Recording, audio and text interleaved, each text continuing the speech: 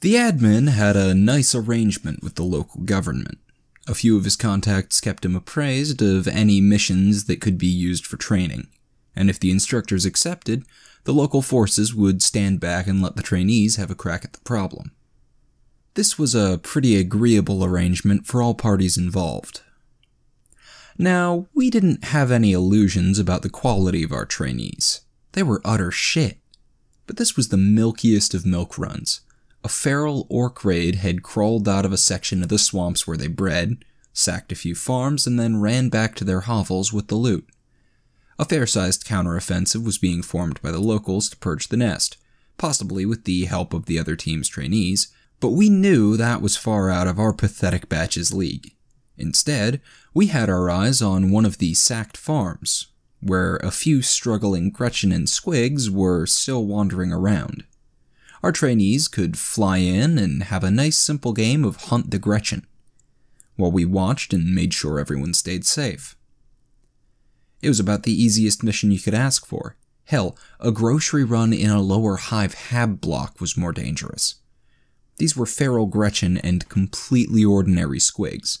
They were weak, stupid, cowardly, and armed with nothing but knives and pointy sticks. Our trainees would be armed with high quality ranged weapons, and they could just slowly sweep the area, gunning down the little buggers before they even got close. We put together a clean and simple plan of attack, made sure everyone understood their role, and even checked their weapons for them. There was no way that anything could go wrong. The op was practically foolproof. We would have trusted it to a bunch of kids with slingshots. It was amazing how hard they screwed it up. The locals had a cordon set up around the farm to keep the orcoids contained, and had given us a command tent to sit in while the trainees deployed. This meant we were a few hundred meters away when the screaming started, but from what we could piece together when the smoke settled, it went something like this. Squad 3 was advancing across the southern field when their gunner, the scribe who'd picked the heavy stubber, spotted a Gretchen fighting with a squig in a nearby ditch. We heard him call in the sighting, and then both he and a squad mate opened fire. A few seconds later, they stopped firing and announced their intention to advance and confirm the kill. The heavy weapons scribe walked over to the Gretchen and Squig, but instead of just headshotting them both and moving on, he prodded them with the barrel of his stubber. The Squig jumped up and bit his ankle, causing the scribe to fall face first into the ditch. This, in turn, prompted the wounded Gretchen to latch onto his head and start scratching and biting like only an angry Gretchen can. The scribe leapt to his feet, flailing his arms and screaming over the open channel until his squad mate removed the Gretchen. Unfortunately, said removal was performed using a hand cannon, and while the Gretchen was very thoroughly removed, so was most of the scribe's head. Then, while the team killer panicked and tried to perform first aid on a headless corpse, a second unnoticed Gretchen seized the abandoned heavy stubber. In the end, there were seven deaths, four serious injuries, and three arrests. Of the seven deaths, only three were directly caused by the Greenskins. The first was the team killer who was gunned down by the Gretchen with the stubber. Another pair of Gretchen accounted for a cleric who had a little too much faith in the Emperor's protection and too little sense to run when his gun ran dry. The final one was a scribe who dove for cover in a mulch pit which was already occupied by a half dozen squigs. As for the others, good old fashioned friendly fire took down the poor PDF trooper who killed the Gretchen with the stubber as well as the scribe whose death started the whole mess. The last two deaths were commissar related. Most of the stubber armed Gretchen's fire had been directed at Squad 5. The Xenos' poorly aimed shots probably hadn't come anywhere near actually hitting them, but the tracers flying overhead were enough to spook the two scribes in the squad. The two nerds ran for it, ignoring the orders and accusations of cowardice coming from the cadet commissar in charge of their squad. Enraged by this blatant cowardice and disregard for his authority, the commissar drew his sidearm and placed three rounds through one of the scribe's backs and drew a bead on the other. Before he could get the shot off, though, a stray round, which neither the criminal or PDF trooper in his squad saw the source of, took him in the head. Someone stabbed his corpse a few times as well, but we put that down to a Gretchen who must have somehow got a hold of a Type 7 Princeps special switchblade. As far as injuries went, the worst one was a cleric who got badly burned when he used his flamer inside an enclosed space. An enclosed space that just so happened to be made of wood and filled with hay. Aside from that, two trainees were badly hit by stray shots, and a scribe broke both of his legs when he tried to take cover in what proved to be a very deep and very dry well. There were a few dozen lesser injuries spread across the whole group, but those were the only really nasty ones. All in all, we lost 11 men, nearly a quarter of our trainees, but that wasn't the end of it. We'd provided all the trainees with combeads, figuring that good communication would help prevent screw ups. None of us had thought to limit what frequencies they could transmit on. One of the panicking scribes had decided the situation was FUBAR and called for backup. This by itself wasn't a bad thing. Hell, we were the ones who taught them to do it. Calling for help when shit got tough was a nice, sane reaction, and we all endorsed it. But not over the emergency channel that everyone within 50 clicks was linked to. As our squad mopped up the few surviving greenskins and Doc started triaging the wounded, the cavalry arrived. Several platoons of local PDF, a pair of chimeras, and a half dozen flyers descended on the farm all of them intent on rescuing our trainees from some sort of surprise attack by the orcs. We just barely managed to prevent another round of friendly fire. The reinforcements did help Doc treat the wounded and might have saved a few lives, but it was just about the most embarrassing moment in our careers. Sarge was vibrating between incandescent rage and horrible shame as he talked to officer after officer thanking them for the help and assuring them that the situation was under control.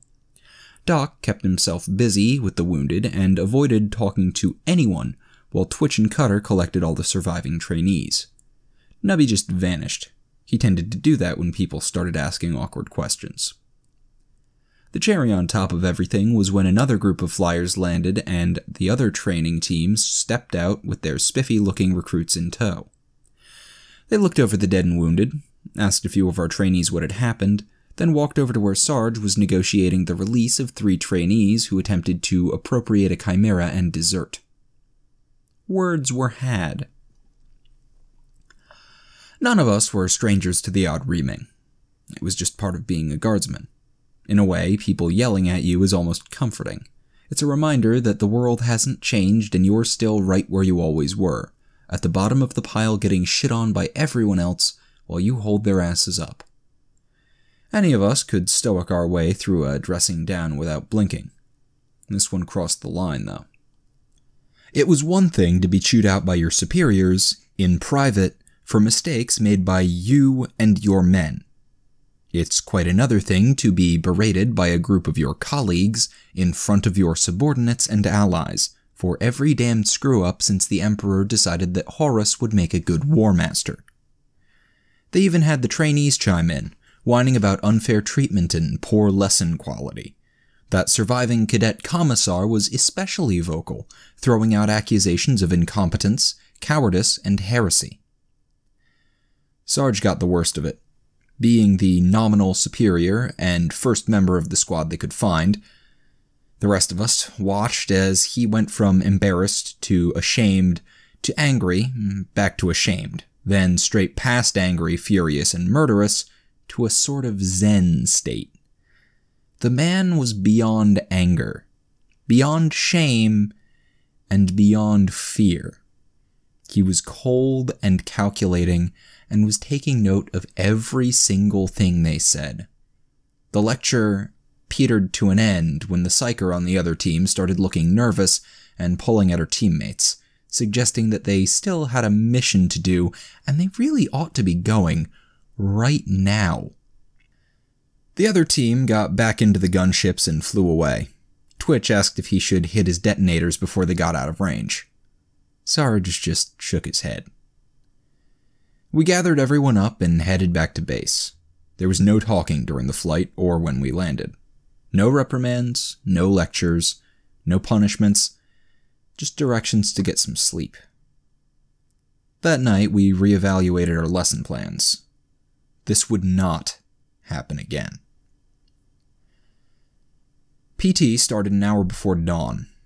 Anyone who didn't get up was dumped out of bed, tied by the leg to a servitor, and dragged out onto the field. There were no separate groups this time. Everyone was doing the same drills we'd done as snot nosed recruits. If you complained, you'd got a licking from Sarge or Cutter, and if you collapsed, you got a stim shot from Doc or were left where you fell. If we thought you were malingering, Nubby would go over and give you a few kicks. And ever since he got those augmetic legs, Nubby could really put the boot in. Once the sun was good enough, we led or dragged them all to the firing ranges where Twitch had laid out all of their weapons. Next to the rows of fancy firearms and melee weapons were several large crates which the admin had busted his ass to get overnight. Sarge walked down the line of sweating trainees and asked each one to go get their weapons. When they went to pick up their auto gun or flamer or crossbow, it was yanked out of their hands and they were given a battered lasgun and a dull bayonet instead. This triggered a few complaints from the stupider recruits. They raised several points about the low quality of the weapons and their inexperience with them. And then they tried to demand their old guns back. Sarge calmly explained that they were getting the las guns because shut up and soldier, soldier. Then he hit anyone who kept complaining. They got the message pretty quickly, and we outfitted everyone with a standard guardsman's kit with optional toothless chainsword. Well, almost everyone. The remaining cadet commissar refused. He kept a death grip on his weapons and launched into a tirade about dignity and such, which ended with him being clubbed over the head by Cutter and dragged away by one of the servitors.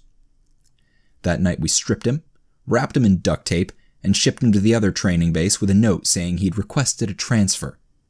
He was not missed. The next few days were nothing but PT and weapons drills.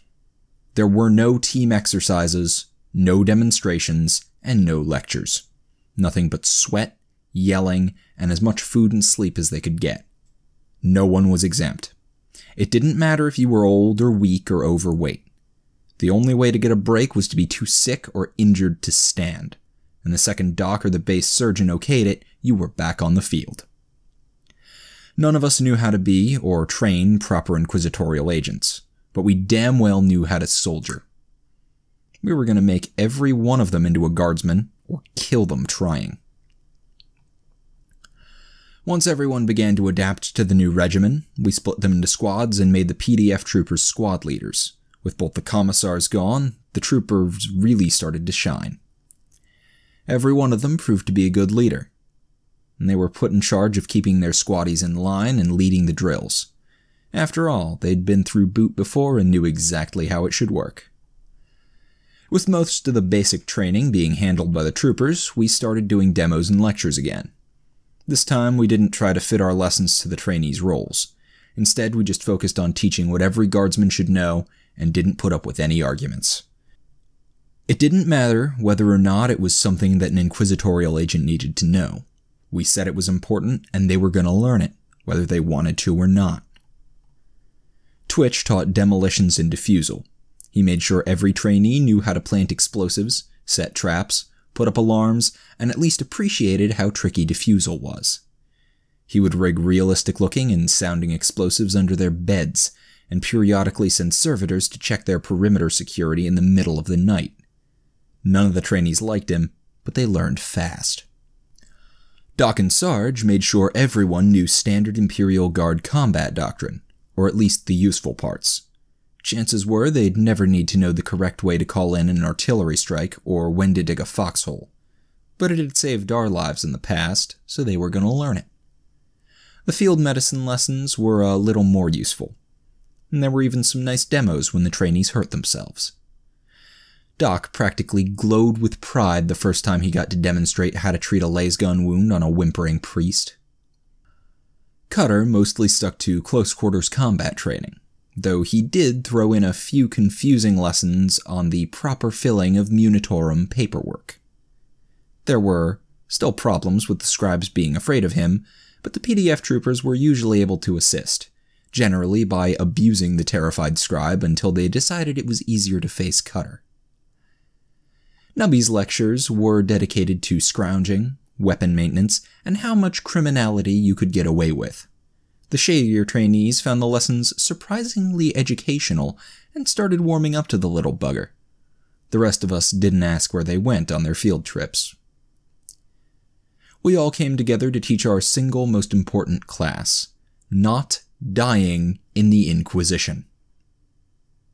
Now that we had established a proper respectful atmosphere, our stories were much better received. We started slowly and laboriously going over every single battle we'd fought and every death we'd witnessed. We pointed out how explosives solved almost every problem, how psykers tended to ruin everything for everyone, and often our problems were caused by our superiors. We crammed their heads with little pieces of common sense, each one backed up by horrible death or surprising victory, and made sure they could repeat each and every one back to us. It might not have been the traditional Inquisition curriculum, but we hoped that none of our scribes would wind up reading random demonic tomes and that our clerics wouldn't die leading suicidal charges. Of course, everything wasn't magically better. Some of the trainees couldn't take the strain and others tried to desert. We didn't waste any time on frail ones.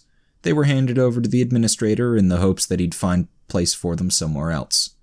The deserters were retrieved and fitted with a good old fashioned penal legion collars for a few days while we explained how preferable death was to angering the bloody Inquisition. After that was fully explained, we removed the collars and offered them another chance to run.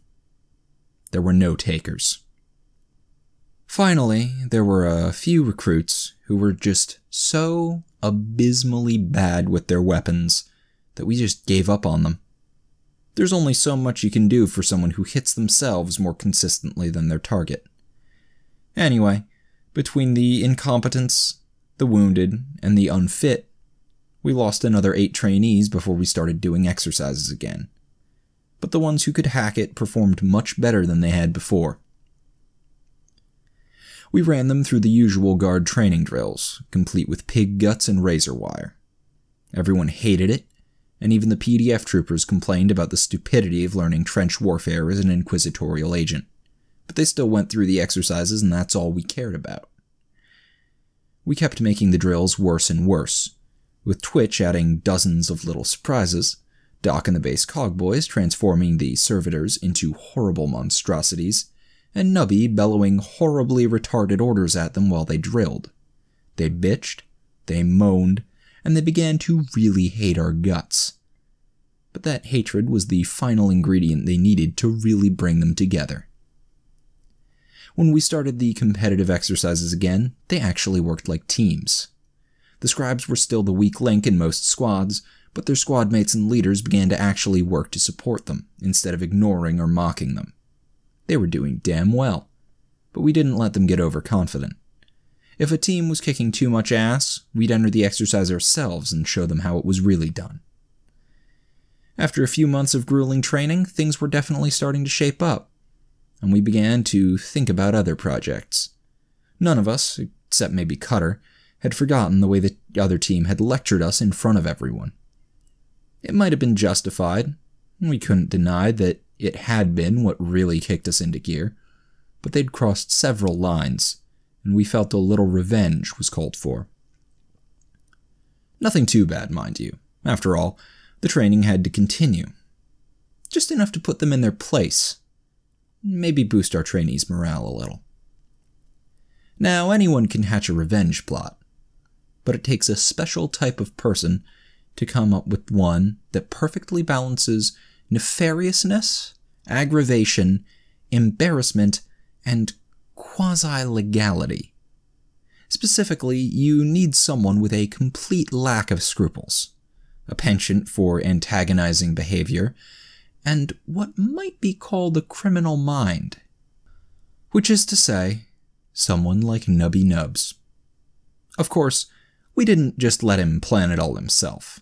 We'd learned that lesson. But he had a few very interesting ideas which served as the basis for our plot. The admin was asked to keep an eye out for a few things that might fit the bill, and before long we got lucky.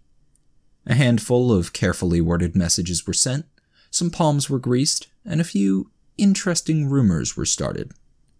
Soon, both inquisitorial training teams were informed that some mass disappearances were happening in the slums of one of the planet's major cities. This was the perfect opportunity for the trainees to test their investigative skills. We suspended our drills, called in some flyers, and got the trainees disguised as harmless civilians, which is to say that we told them to leave their helmets behind and throw coats over their flak armor. Once their cunning disguises were in place, Sarge gathered everyone up and informed them of the situation. He explained what we'd heard and who we'd heard it from, and then asked them to remember the first rule of being a guardsman. Of course, there are a few first rules of being a guardsman, and there was a little confusion about which one Sarge meant. It wasn't the gun is always loaded, stay the fuck in cover, or if at first you don't succeed, call in an airstrike, and it definitely wasn't it's not stealing if they're not from your unit and they didn't really need it. Nubby got a hard look from Sarge after that one. With a weary sigh, Sarge explained that the first rule of being a guardsman in the Inquisition is if the job looks hard, make sure you actually have to do it first. None of the trainees seemed impressed with this piece of wisdom. At least, not until the rest of us volunteered some reasons why these disappearances might not be their problem. Then, because subtlety is completely overrated, we also suggested a few things that could be done with their time in the city if this turned out to be someone else's problem. That got them thinking, as everyone boarded the flyers, we heard the squad leaders talking. They were already brainstorming who they could dump this mess on and what to do with their R&R afterwards. Bless their weaselly little hearts. There was no point messing around with subtle entrances.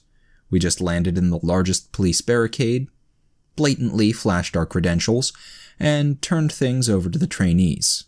We watched, tears in our eyes, as they practically marched onto the scene, looking exactly like a bunch of guardsmen trying unsuccessfully to look like civvies. They were growing up so fast. The squads split up and stomped around the cordoned area with a complete lack of subtlety, loudly asking questions about whether there were any evil cults, demons, or mutants around. If you knew where to look, you could see the other team's cleverly disguised or concealed trainees, staring with their mouths open, Within minutes, one of their instructors appeared out of the shadows and asked us just what in the Emperor's name we thought we were doing here. While Sarge was the one the agent approached, the whole squad stepped back and let Nubby be the spokesman.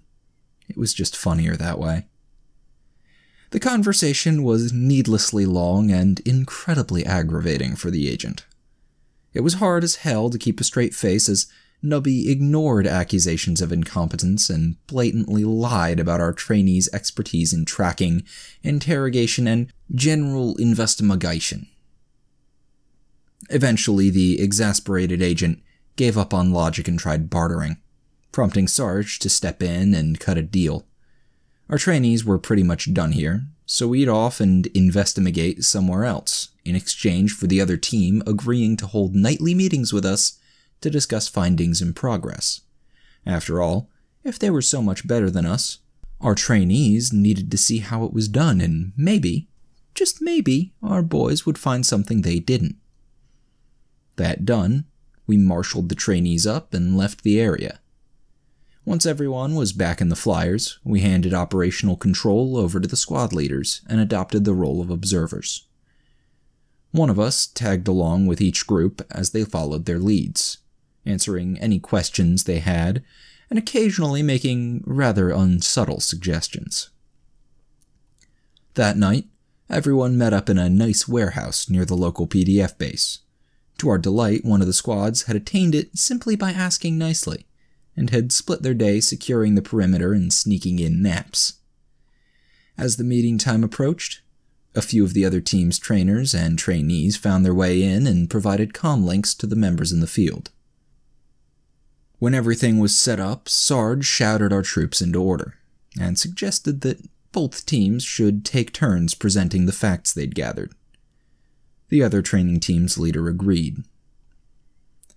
The agent explained that his trainees at the scene had found signs of a struggle and a few emblems that matched no known cult, imperial or otherwise. He talked a lot about footprints, dropped items, and other stuff that none of us listened to. When he wound down, Sarge thanked him and asked Doc's squad to present their findings.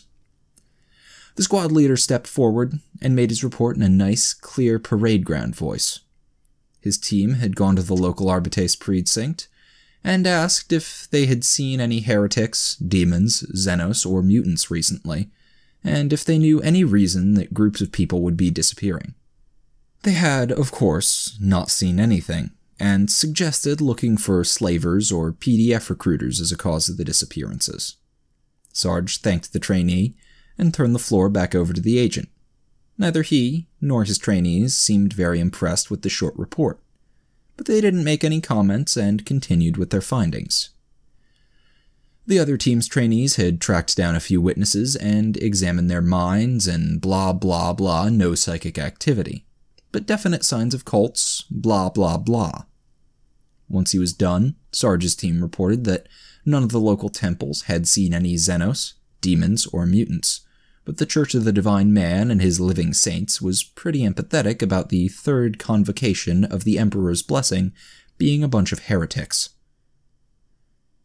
They had also suggested that the large disappearances were a sign of imminent rapture, or that the Mechanicus was making an extra large batch of servitors. By then, the agent was getting a little frustrated and had obviously noticed how little attention most of our trainees paid to his team's findings. Though we were at least making sure none of them fell asleep. One of his trainees gave an exceedingly boring report about surveillance records and people wearing matching robes, which is, of course, a classic sign of cultists. Some of our trainees snickered at this. Twitch's team had chatted with the local PDF before securing the warehouse we were in and verified that they hadn't seen anything weird. The PDF had also implied that maybe all of the disappearing people had just suddenly decided to move to a different city, and it probably wasn't anything sinister. At this point, the agent and his trainees began to raise objections about the quality of our investigation. They seemed to think that all we were doing was just asking random people if anything was wrong, then accepting whatever they said. None of us saw anything wrong with this, though, so we just ignored their objections until they got on with their own reports. Another batch of the other team's trainees had done some snooping in the sewers and found a few underworld establishments with mixed success. But those that weren't waylaid by gangers had, of course, found more evidence of cultist activity. A short argument was triggered by a nameless wise ass in the audience, pointing out that the agent and his trainees could probably find evidence of cultist activity in their breakfast cereal.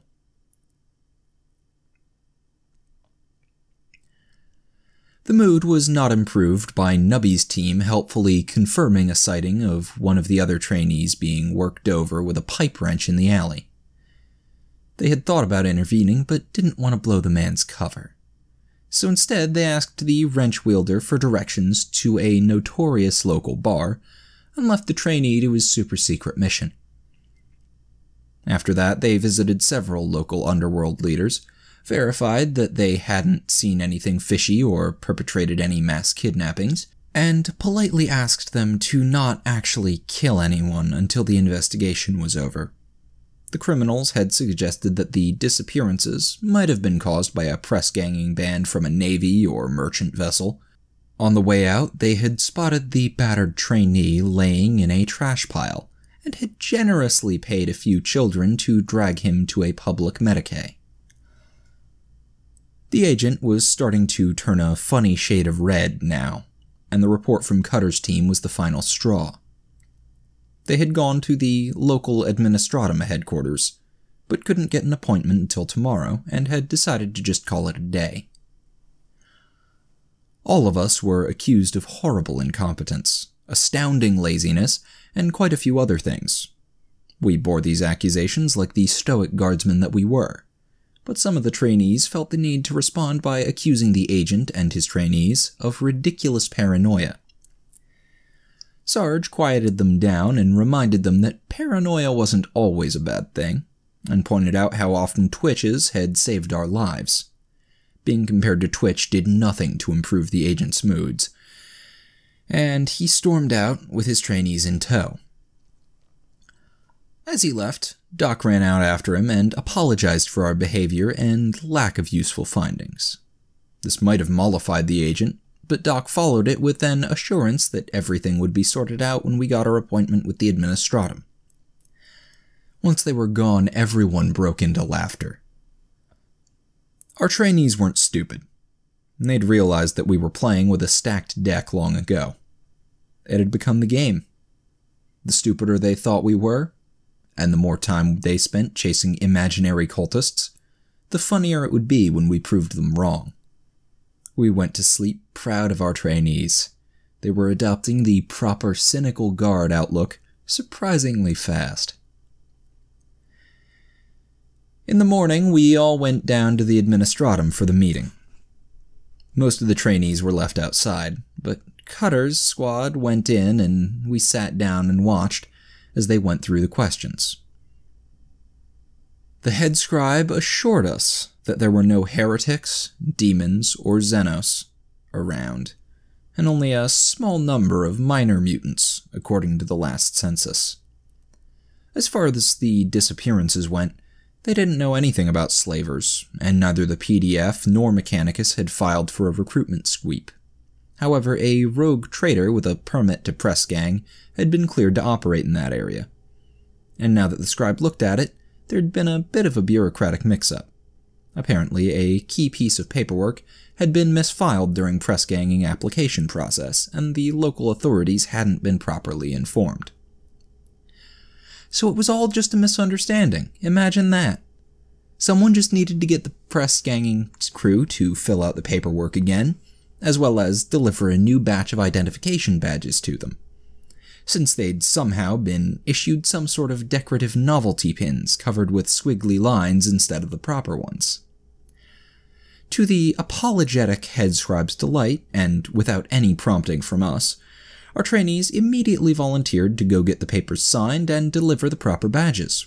After all, it was our duty to get this mess sorted as soon as possible. A few hours later, we were all drinking and laughing in the rather nice hotel, which the leader of the press gangers was staying at. The man was very apologetic once we explained all the trouble that had been caused by the little mix up. He promised to make sure his paperwork was properly filed in the future and invited us to have a few drinks in the hotel restaurant on him. A message was sent to the other team telling them that we'd solved the whole mystery and recommended they head home. And then we let the trainees off the leash and had a nice chat with the press ganger while we waited. It took a while before someone on the other team came over to see what the hell our message was about, but none of us minded. When the sneaky looking trainee poked his head into the restaurant, he saw all of our students having a pretty wild party while our squad sat like kings at feast. Cutter grabbed the little bugger the second we saw him, dragged him up to our table, and prompted the rather tipsy press ganger to explain the situation while Nubby filled the drink induced blanks. The look on that trainee's face was priceless, and we all snickered into our beers as he scurried away to call his bosses. A short while later, the whole other training team was standing in front of us, in the middle of a party that was off several types of hooks, glaring at us like we kicked their mothers and slept with their pets. Or vice versa. There was just a little bit of drinking going on. The other team didn't believe us at first. Hell, we wouldn't have believed us. It all looked too cut and dry. But there was more than enough proof. We had the official documents and permits, the logs from the shuttle that had taken the civvies away to their new and exciting lives aboard the trader's vessel, the note from the head scribe explaining the accident, and the press ganger himself beerily waving and confirming that it was all him. There were no cults, no secret societies, and no complex cover ups. Well, at least there weren't any involved in the disappearances. It was all just bureaucratic mix up. A simple mistake. Just like we said it was.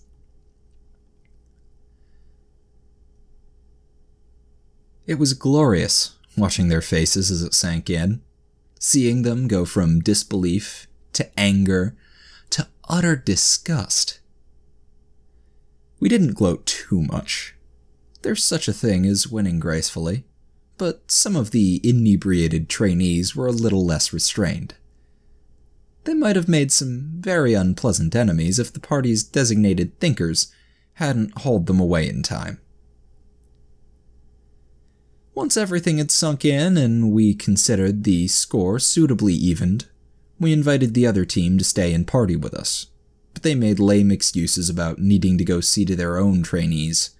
As they left, their leader, the suave agent fellow, swore that they had actually found a cult, even if it wasn't linked to the disappearances. Sarge told them to have fun with that, and asked them to give us a call if they needed some fire support when they located the heretics or whatever. Now that our point was made, we were done pretending to be even slightly interested in investigations. Our guests dealt with, we got down to the serious business of teaching our trainees how to hold a proper victory celebration. Super professional inquisitorial educators. That's us.